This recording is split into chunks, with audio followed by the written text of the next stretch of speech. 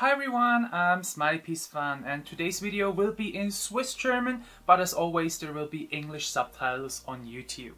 Hallo zusammen, heute gibt es mal wieder ein schweizerdeutsches Video von mir, weil heute gibt es das dritte Video in einer ganz speziellen Reihe, nämlich in meiner Escape Room Spielreihe. Der eine oder andere weiss es vielleicht schon, ich spiele ganz ganz viele Escape Rooms, die Rätselräume, die mittlerweile in jeder grösseren Stadt sind. Und ich habe schon vor ein paar Monaten endlich die 300 Marken geknackt. Ich bin mittlerweile schon auf meinem Weg zu den 400. Das heisst aber, dass ich jetzt schon über 300 Escape Rooms gespielt habe. Ich weiss, es ist sehr verrückt, es ist ein sehr spezielles Hobby, aber ich liebe es, mich durch Rätselräume durchzukniffeln. Und immer wenn ich die nächsten 100 geknackt habe, mache ich so ein Update, wo ich so über die besten und schlechtesten Spiele erzähle, die ich so gespielt habe. Ich tue euch auf jeden Fall meine vorherigen Videos unten in der Videobeschreibung verlinken. Dort seht ihr, was meine Meinung von Spiel 0 bis 100 und von 100 bis 200 ist gesehen. Wie immer möchte ich zuerst ein paar Statistiken nennen. Und zwar habe ich aus den letzten 100 Spielen, die ich gespielt habe, habe ich tatsächlich 98 Spiele erfolgreich geschafft. Wir haben ja immer eine Zeitlimite, in dem dass man alle Rätsel lösen muss.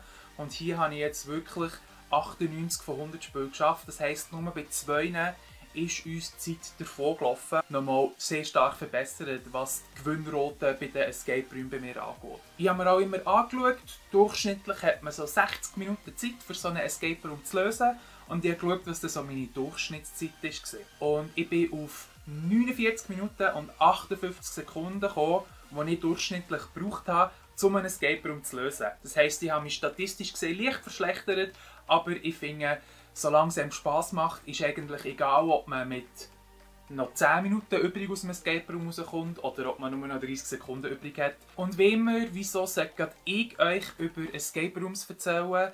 Ich habe ganz lange, über fünf Jahre, für einen Escape Room Betreiber geschafft, habe ganz viele Escape Rooms auch aufgebaut, also habe das Rätseldesign und das Raumdesign gemacht. Ich habe meine Bachelorarbeit über Escape Rooms quer durch die Welt durchgespielt. Ich habe auch dürfen bei roomescapeartist.com einer der berühmtesten Escape Room Blogs und Review-Seiten mitschreiben.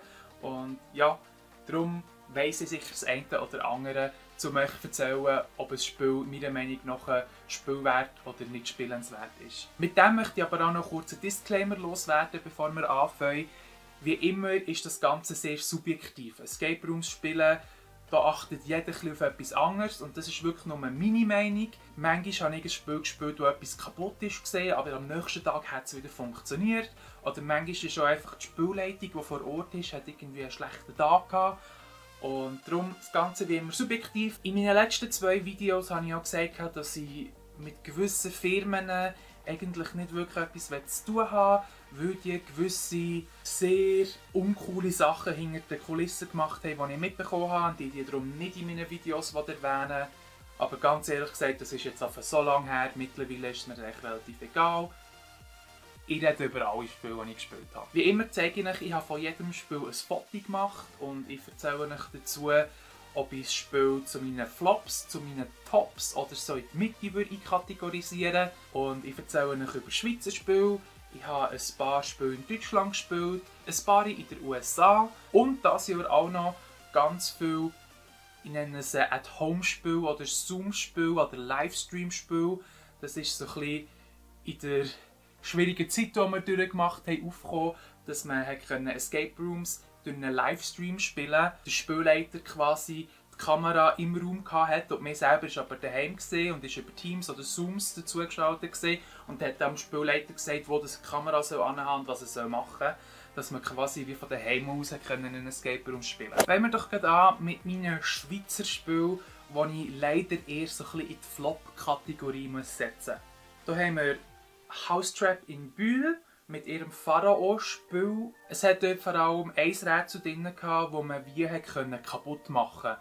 Wenn man nicht etwas zu einer ganz bestimmten Zeit das erste Mal richtig gelöst hat, dann hat man es nachher wie nicht mehr machen und dann hat man es einfach überspringen und man hat es auch richtig gemerkt, dass wir es haben überspringen und die Spielleiterin ist leider nicht wirklich so schlau damit umgegangen. Ich finde, das ist einfach so ein Game Design mäßig nicht schlau, dass man ein Rätsel beim ersten Mal muss lösen und sonst ist es wie kaputt. Dann haben wir hier in Zürich Play X mit der Hexe vom Aargau. An und für sich ein sehr solides Spiel. Es ist einfach, man merkt, es ist ein altes Spiel. Es ist ein Spiel, das nicht wahnsinnig viel Budget dahinter steckt.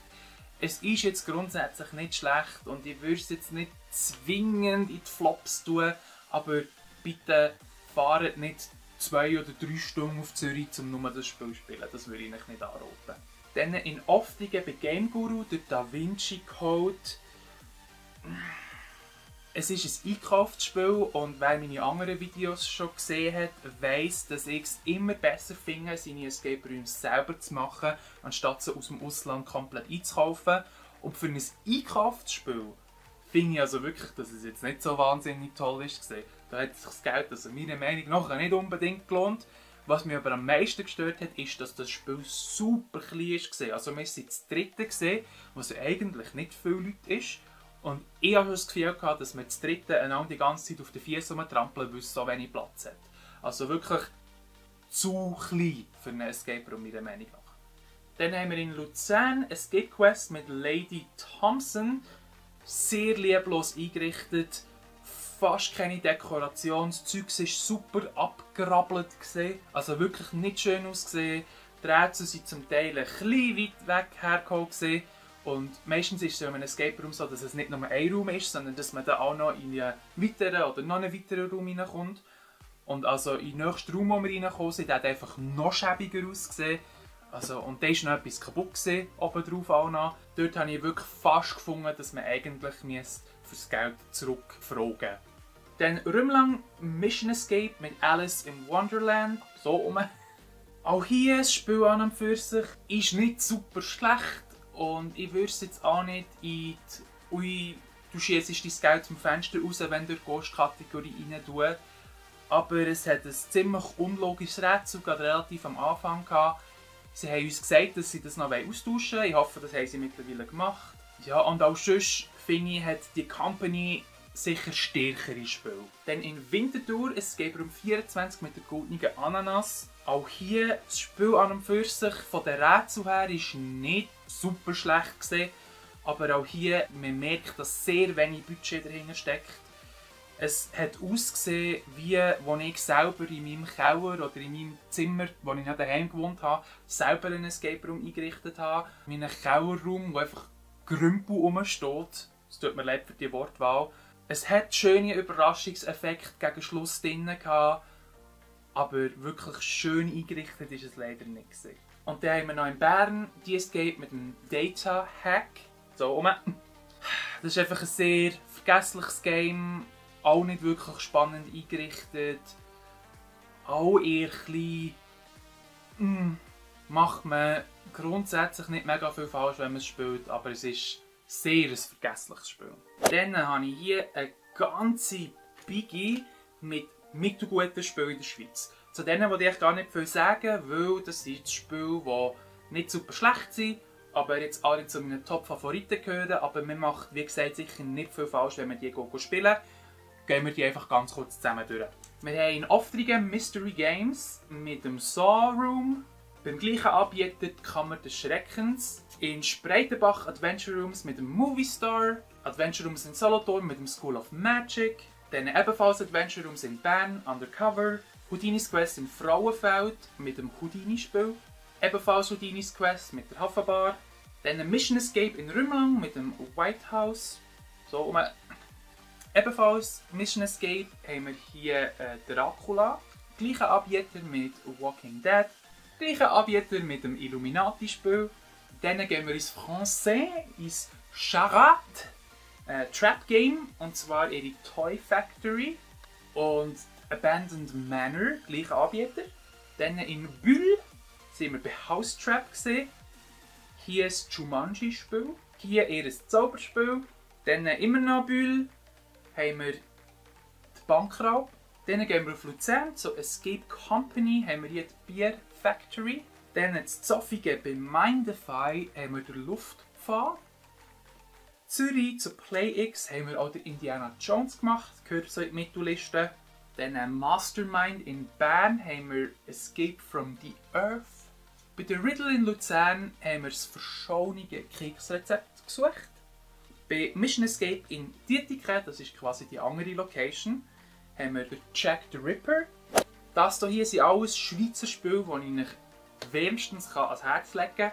Gehen wir doch durch, was wir hier so haben. Bei Trap Game lohnt sich wirklich der Besuch. Sie können nicht so mega gut Englisch, oder zumindest nicht alle Employees dort. Aber wir haben uns gut durchgeschlagen, weil das Problem ist, wir können, oder ich kann nicht wirklich Französisch. Sprachbarriere im Spiel selber ist aber nicht wirklich vorhanden. Und da haben wir das Piratenspiel wirklich wahnsinnig toll eingerichtet. Riesig, also die haben wirklich ein Piratenschiff gebaut in einem riesigen Raum. Innen. Ganz, ganz tolles Spiel. Gleiche Anbieter, auch im Welschen, das Dinosaurier-Thema. Sehr, sehr, sehr, sehr, sehr, sehr schön umgesetzt. Wirklich grosser Wow-Effekt schon von Anfang an. Set-Design top, Rätsel interessant, sehr empfehlenswert. Dann äh, sind wir in Genf bei Trip Trap gesehen. Das sind ja in der Schweiz quasi die bekanntesten Escape Room Anbieter, auch mit die bestbewertetsten oder sogar die bestbewertetsten. Leider haben wir hier kein schönes Foto gemacht. Das eine ist so ein bisschen drei Fragezeichen angelehnt und das ist wirklich wahnsinnig toll gesehen. Storytelling on point, super viele unerwartete Sachen, die passiert sind. Eines meiner absoluten Top-Spiele in den letzten 100 Spiele, die ich gespielt habe. Und das andere Spiel, Geschichte von der Tante Hilda quasi, wo von einer Ritterburg und einer Prinzessin und einem Drachen erzählt. Und ich habe noch nie so ein grosses Spiel gesehen. Das einzige Minus ist, dort gibt es so viel zu machen, dass ich fast würde sagen, wir sind zu vierten fast ein bisschen wenig Leute gesehen. Also ich würde definitiv mit mehr als vier Leuten gehen, auch wenn alle schon sehr erfahren sind im Escape Room spielen, weil das ist wirklich ein grosses Spiel, wo man viel machen kann, aber wahnsinnig toll gestaltet. Dann in Frauenfeld, bei Houdinis Quest, haben wir den Mafia-Raum gespielt. Dort hast du wirklich das Gefühl, du gehst in die Zeit komplett zurück in so einen Krämerladen von früher. Wahnsinnig interessant umgesetzt. Wirklich super tolle Props, die sie dort drin haben, wo du wirklich das Gefühl hast, du bist so zurück in die Zeit gereist. Super, super cool. Gleichen Anbieter haben wir als Labor. Der hat mir sehr gefallen, weil es wirklich ein sehr anspruchsvoller Raum ist, der aber durchaus machbar ist. Also wenn ihr eine Gruppe seid von erfahrenen Spielern, das Labor ist wirklich eine Challenge. Dort ist wirklich Rätsel nach Rätsel nach Rätsel nach Rätsel und es hört nicht mehr auf. Und wir müssen ja wirklich nur ganz knapp rauskommen. Aber du bist so in einem Flow inne, wo es einfach wirklich sehr interessant gemacht ist. In Rümlang, dort habe ich ein paar Räume gespielt. In meinen Top ist sicher der Aladdin, weil er sehr interessante Sachen macht, sehr herzig umgesetzt ist. Definitiv nicht der anspruchsvollste Raum, aber wirklich herzig gemacht, hat mir sehr gefallen. Und das komplette Gegenteil bei den gleichen Anbietern ist der Horror-Zirkus.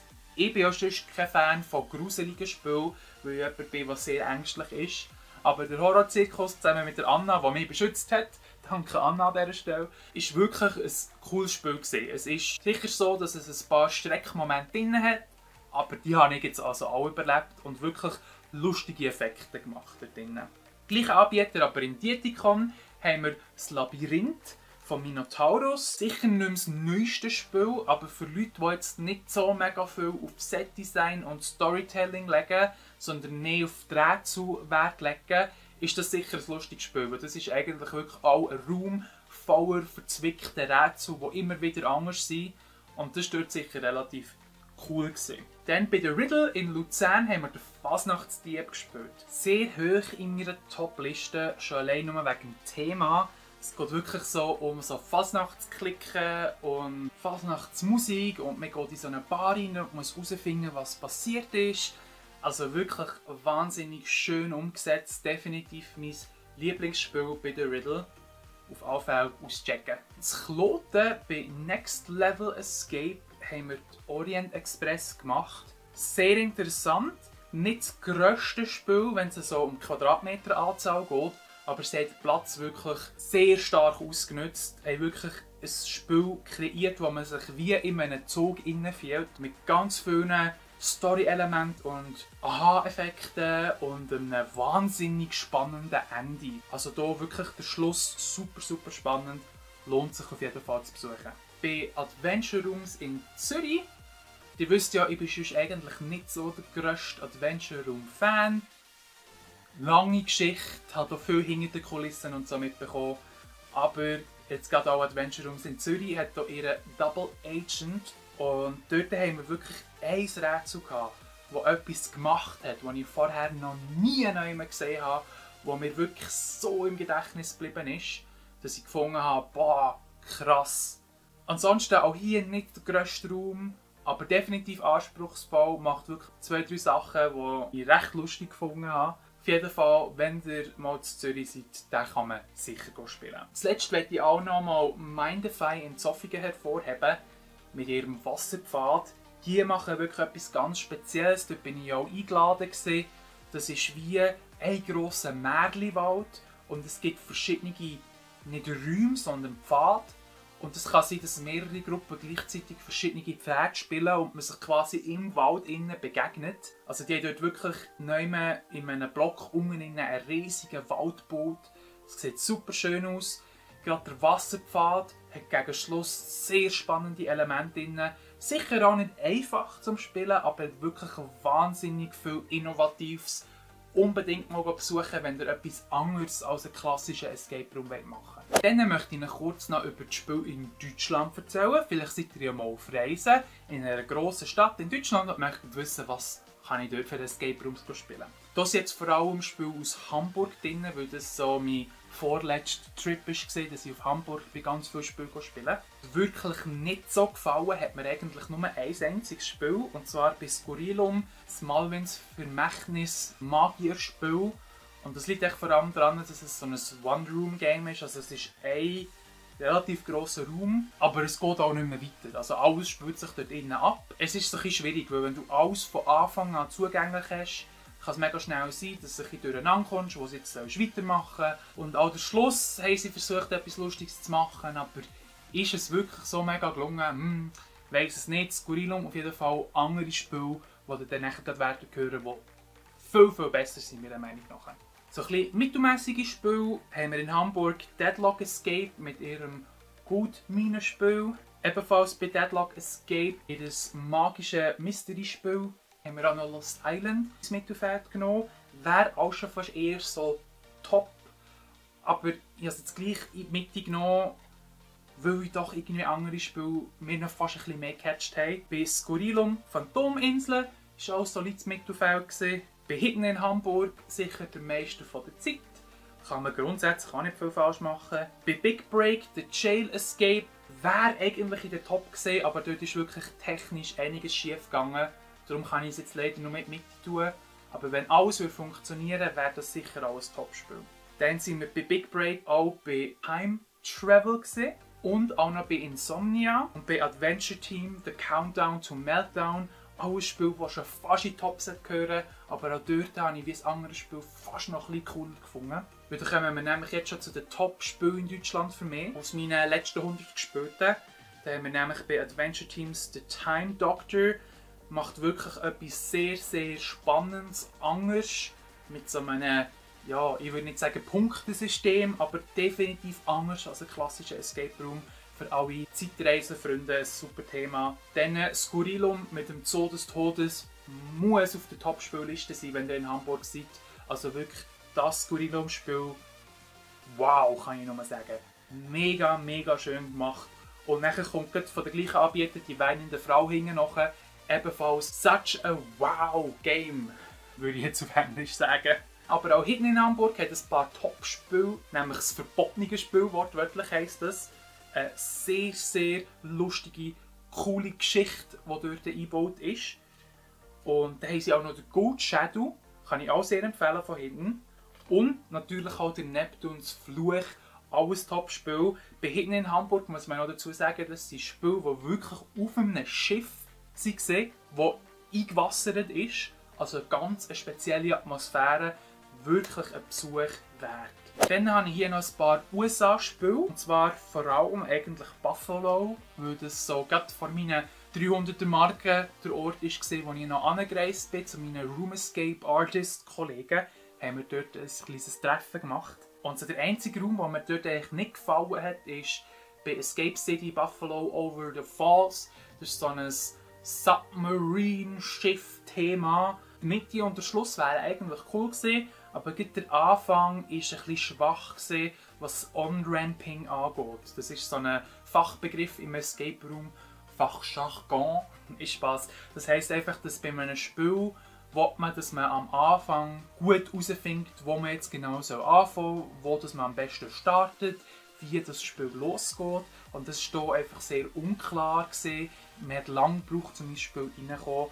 Darum leidet das zu meinem Flop-Spiel. Bei Lock and Key haben wir ein Grim Forest gespielt, das ist so in der Mitte für mich. Genauso wie The Seance bei der gleichen Anbieterfirma. Nichts Spezielles, aber nicht schlecht. Dann bei Escape City Buffalo meine zwei Top-Spiele sind auf jeden Fall Hangover und Body Collector gesehen. Das eine ist so ein bisschen an Song angelehnt, aber wirklich auch für Leute, die Angst haben, jetzt sicher machbar. Hat ein paar ganz spezielle Effekte gerade am Anfang auch drin und auch der Schluss ist sehr spannend gemacht. Und der Hangover, so ein das komplette Gegenteil, das ist wie ein Partyraum. Man muss sich das vorstellen wie so ein Las Vegas Hotel Room, Party und alles liegt irgendwie quer durcheinander. Und du musst herausfinden, was passiert ist. Also wirklich sehr, sehr lustig gemacht. Kommen wir jetzt noch zu diesen At-Home Spiel, das ich anfangs schon erwähnt habe, wo man quasi per Livestream zugeschaltet wird von daheim aus, dass man am Kameramann im Raum innen kann sagen, was er machen soll und wo er anschauen soll quasi so von daheim aus in Escape Room kann spielen Auch hier ein paar wenige, die mich jetzt nicht wirklich begeistert haben. Hourglass Escape mit ihrem Pharao-Spiel wirklich sehr klein, nicht wirklich viel zum Entdecken und alles geht eigentlich wirklich so um ein grosses Möbelstück in der Mitte vom Raum, aber wirklich viel passieren raummäßig dort, dort leider nicht. Dann haben wir Sherlock, The Vault, eigentlich in Real Life ein Spiel in den Netherlands, das sehr viel empfehlen, aber über Livestream wirklich gar nicht gut übergekommen. Verbindungsprobleme, die Rätsel haben wirklich nicht gut funktioniert. Man muss sich auch überlegen, etwas in echt zu spielen oder etwas über einen Livestream zu spielen. Du kannst nicht alle Rätsel einfach eins zu eins so umsetzen. Und da ja, hat sich einfach gezeigt, dass wirklich gewisse Rätsel hätten anders gemacht werden für eine Livestream-Version. Und dann habe ich noch den Escape-Effekt mit dem Benedict-Spiel. Das war einfach nicht wirklich so spannend. Gewesen. Es hat wirklich nicht viel Innovatives drin. Gehabt. Liegt aber auch daran, dass es mehr so ein Promo-Spiel war, das auch nicht lange verfügbar war. Es war auch nur 45 Minuten lang. Gewesen. Hat jetzt für mich leider nicht wirklich viel ausgemacht. Ganz viel so nicht schlechte, aber jetzt auch nicht in meinen Top-Favoriten At-Home-Zoom-Spiel. Da haben wir Emergency Exit mit dem Studies von Dr. Becker, dann Daydream Adventures mit dem Witch Forest, dann Unlocked mit dem Return of the Magician, dann Escapology mit Contraption, Looking Glass Adventures mit dem Zaubershop, hier haben wir Solve Entertainment mit dem Professor Prank, District Free mit dem Interrogation Spiel, dann haben wir hier District Free nochmal äh, Haunted Cave Adventures mit dem The Hunter. Dann haben wir The Box mit Diamond Heist, Heist, Heist, Heist. Escape Sagas mit Secrets of the Past. Manchester haben wir University of Magic. Dann haben wir das Grand Immersion Hotel. Ich bin sicher, wenn ich das in echt gespielt hätte, wäre es in meinen Top gelandet. So aus Livestream-Spiel ist jetzt mehr so in der Mitte gewesen. Dann haben wir BH Escape mit Mystery von Santos. So rum. Escape Hunt haben wir hier mit Alice in the Puzzle Land. Lustiger Name. Puzzle Effect with the Real. Auch fast in meine Top gelandet, aber ist doch halt einfach ein recht Standardspiel. Und es hat noch so ein doofes Rechenrätsel am Schluss gehabt. Ja, es ist nichts gegen Mathematik und Rechnen in einem Escape Room, aber dort hat es jetzt leider oh, so mäßig viel Sinn gemacht. Und zum Schluss noch Mystery Mansion mit dem Kuriositätenladen. Das war jetzt so ein Mittelfeld bei mir. Und zum Schluss jetzt noch die At-Home-Spiele, die mir sehr gut gefallen haben. Da haben wir von 60 Out Miss Jazzable, also wenn man wirklich so ein raunchy, sagt man im Englischen, also so ein recht freizügiges, lustiges, sexuell, humormäßig angehauchtes Spiel spielen Jazzable auf jeden Fall das Geld wert. Dann haben wir Mindtrap mit Excalibur, hat mir auch sehr gefallen vom Thema her. Dann bei Trapped Puzzle Rooms haben wir den Hiska, lustige Rätsel drin gesehen. Dann gibt es hier SOS Sasquatch on Site, also der Yeti. Mal, der Yeti ist doch das. Quasi, wo man in so einer Winterhütte innen ist und Ausschau nach einem Yeti haltet. Ganz toll vom Thema her und von den Rätseln auch. Haben wir Lockdown Pharaohs, haben wir eine Space Station, die auch sehr lustige Rätsel drin hatte. Dann ein Scrap, sehr bekannt unter Escape Room Enthusiasten. Haben wir The Lab of Shifting Rules. Also wirklich ein sehr spezielles Thema, wo man quasi die kompletten Regeln vom Escape Room kann auf den Kopf stellen und zum Beispiel auch kann Schwerkraft außer Kraft setzen also wirklich ganz verrückt, was sie dort mit dem Livestream alles anbekommen haben. Dann Improbable Escapes gehört zu den schönsten Escape Room Anbietern, was Set-Design angeht, was ich online gespielt habe. Da haben wir Neverland, wahnsinnig schön umgesetzt. Und nachher aber auch noch die sieben Zwerge, wunderschön umgesetzt. Nachher sind wir zu Malta, haben wir auch einen Online-Escape Room gehabt, nämlich Forbidden Castle.